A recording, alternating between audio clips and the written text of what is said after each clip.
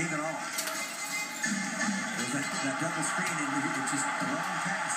Dorell Wright had the steal, then lost the ball. If you don't have an angle, see Dorell Wright, you can play. You can see what was coming. Evan Turner floating it up and in see. With Deandre Jones, those four fouls became kind of a big deal. Now, Dorell Wright, it doesn't have a shoe. He- He's running around in a sock and a shoe. As Jarrett Jack hits the three.